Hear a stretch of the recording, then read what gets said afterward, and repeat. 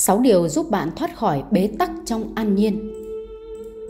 Quý vị khán thính giả thân mến, cuộc sống của mỗi con người là một cuộc hành trình dài vô tận mà bạn không thể biết trước được điểm đến. Sẽ có lúc bạn vấp ngã, thất bại và cảm thấy mất niềm tin vào cuộc sống. Tuy nhiên có một câu nói mà lẽ ra ai cũng biết rằng sau cơn mưa trời lại sáng, không có sự tồi tệ nào tồn tại mãi mãi và chính tâm trí của bạn là thứ quyết định cuộc đời bạn như thế nào. Sáu câu chuyện mà chúng tôi chia sẻ với quý vị hôm nay hy vọng sẽ là liều thuốc tinh thần ý nghĩa tiếp thêm động lực cho mỗi chúng ta sống tốt hơn mỗi ngày. Một, những phiền não đều giống nhau, chỉ lòng người mới khác biệt. Một chàng trai trẻ đến xin học một ông giáo già với tâm trạng bi quan và chỉ thích phàn nàn. Đối với anh, cuộc sống là một chuỗi ngày buồn chán, không có gì thú vị. Một lần khi chàng trai than phiền về việc mình học mãi mà không tiến bộ, người thầy im lặng lắng nghe rồi đưa cho anh một thìa muối thật đầy và một cốc nước nhỏ. Con cho thìa muối này vào cốc nước và uống thử đi. Lập tức chàng trai làm theo. Cốc nước mặn chát, chàng trai trả lời. Người thầy lại dẫn anh ra một hồ nước gần đó và đổ một thìa muối đầy xuống nước. Bây giờ con hãy nếm thử nước trong hồ đi. Nước trong hồ vẫn vậy thôi thưa thầy. Nó chẳng hề mặn lên chút nào. Chàng trai nói khi múc một ít nước dưới hồ và nếm thử. Người thầy chậm rãi nói, con của ta Ai cũng có lúc gặp khó khăn trong cuộc sống và những khó khăn đó giống như thìa muối này đây.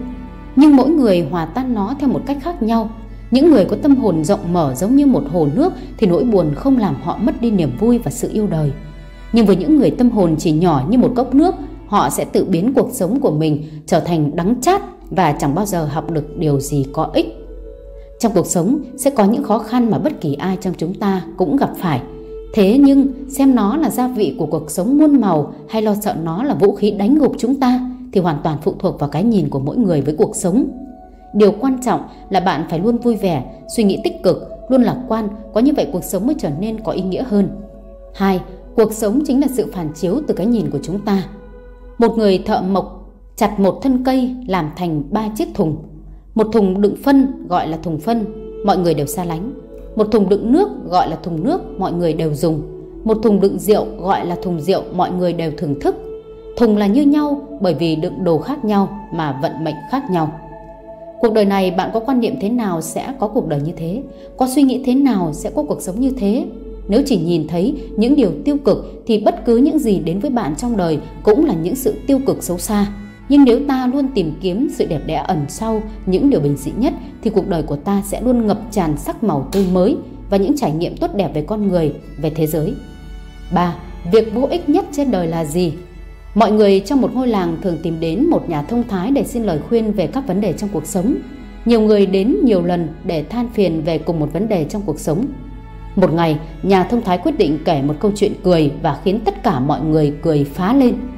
Vài phút sau, Ông kể lại câu chuyện cười đó một lần nữa, nhưng chỉ có một vài người mỉm cười.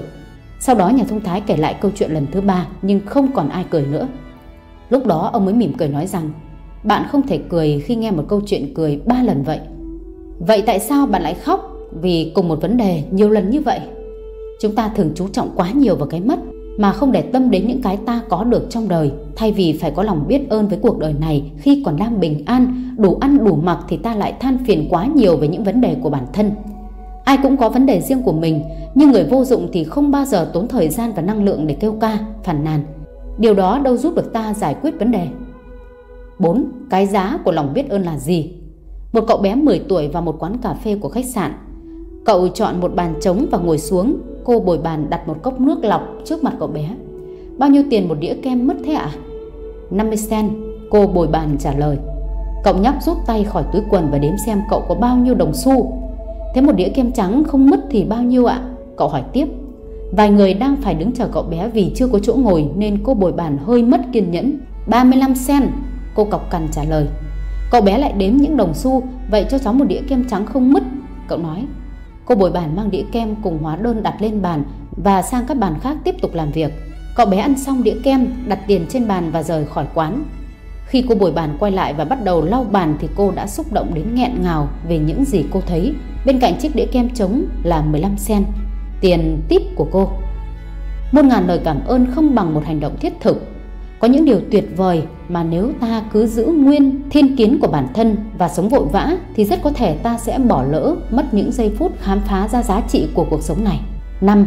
người bản lĩnh luôn biết cách chấp nhận khuyết điểm của người khác. Khi tôi lên 8 hay 9 tuổi gì đó, tôi nhớ thỉnh thoảng mẹ tôi vẫn nướng bánh mì cháy khét. Một tối nọ mẹ tôi về nhà sau một ngày làm việc dài và bà làm bữa tối cho cha con tôi. Bà dọn ra một vài lát bánh mì nướng cháy, không phải cháy xém bình thường mà cháy đen như than. Tôi ngồi nhìn những lát bánh mì và đợi xem có ai nhận ra điều gì bất thường của chúng và lên tiếng hay không. Nhưng cha tôi chỉ ăn miếng bánh của ông và hỏi tôi về bài tập cũng như những việc ở trường học như mọi hôm. Tôi không còn nhớ tôi đã nói gì với ông hôm đó, nhưng tôi nhớ đã nghe mẹ tôi xin lỗi ông vì đã làm cháy bánh mì. Và tôi không bao giờ quên được những gì cha tôi nói với mẹ tôi. Em à, anh thích bánh mì cháy mà. Đêm đó, tôi đến bên chúc cha tôi ngủ ngon và hỏi có phải thực sự ông thích bánh mì cháy hay không. Cha tôi choàng tay qua vai tôi và nói Mẹ con đã làm việc rất vất vả cả ngày và cả đêm, rất mệt mỏi. Một lát bánh mì cháy chẳng thể làm hại ai con ạ. À. Nhưng con biết điều gì thực sự gây tổn thương cho người khác không? Những lời chê bai trách móc cay nghiệt. Quý vị thân mến, cuộc đời đầy rẫy những thứ không hoàn hảo và những con người không toàn vẹn. Chúng ta cũng là những cá thể đầy thiếu sót và chính những điểm khuyết thiếu đó làm nên mỗi chúng ta độc đáo, độc nhất vô nhị là điểm khác biệt giữa loài người và những cỗ máy nhân tạo. Học cách chấp nhận sai sót của người khác và chọn cách ủng hộ những người khác biệt và chọn cách ủng hộ những khác biệt của họ, đó là chìa khóa quan trọng nhất để tạo nên một mối quan hệ lành mạnh, trưởng thành và bền vững. Cuộc đời rất ngắn ngủi để thức dậy với những hối tiếc và khó chịu. Hãy yêu quý những người cư xử tốt với bạn và hãy cảm thông với những người chưa làm được điều đó. 6. Sự tức giận chỉ dẫn ta đến những con đường không có lối ra. Ngày xưa ngày xưa, có một cậu bé rất dễ tức giận. Người cha mới quyết định đưa cho cậu bé một túi đinh và nói rằng mỗi lần cậu tức giận thì phải đóng một cây đinh vào bức tường. Trong ngày đầu tiên, cậu bé đã đóng 37 chiếc đinh vào bức tường. Cậu bé dần dần bắt đầu kiểm soát cảm xúc trong vài tuần tiếp theo và số đinh bị đóng vào tường ngày một ít đi. Cậu bé phát hiện ra kiểm soát cơn giận còn dễ hơn việc đóng số đinh đó vào tường. Cuối cùng, cũng tới cái ngày cậu bé không còn mất kiểm soát cảm xúc nữa, cậu ta mới báo cho cha hay và thế là người cha đề xuất cậu bé mỗi ngày nhổ một chiếc đinh ra nếu như ngày hôm đó cậu kiểm soát được cảm xúc của bản thân. Nhiều ngày trôi qua và cuối cùng cậu bé cũng tới nói với cha rằng tất cả số đinh đã được nhổ ra. Người cha nắm lấy tay con và dẫn cậu bé tới chỗ bức tường. Con đã làm rất tốt, con trai ạ. À. Nhưng hãy nhìn vào những lỗ hồng sót lại trên tường, bức tường sẽ không bao giờ còn được như trước nữa. Khi con nói chuyện trong cơn tức giận thì sẽ để lại những vết sẹo giống như vậy. Khi con cầm dao đâm người khác rồi sau đó rút ra thì bất kể con có xin lỗi bao nhiêu lần đi nữa thì vết thương đó vẫn còn đó. Hãy kiểm soát cơn giận của bản thân và đừng nói gì với người khác trong lúc bạn giận dữ, vì sau này bạn có thể sẽ hối hận. Trong cuộc sống, có những thứ mất đi rồi bạn không thể lấy lại được. Quý vị khán thính giả thân mến, dù bạn có cảm thấy cuộc sống khó khăn hay dường như sự tồn tại của bạn không có ý nghĩa, hãy dừng lại hít thở thật sâu và đọc những câu chuyện truyền cảm hứng để tìm lại những nguồn năng lượng tích cực cho mình. Lo lắng hay sợ hãi không giúp gì cho chúng ta cả. Điều chúng ta cần làm chính là đối mặt với nó. Hy vọng những câu chuyện vừa rồi sẽ truyền cảm hứng cho bạn trong việc theo đuổi đam mê để vươn đến thành công.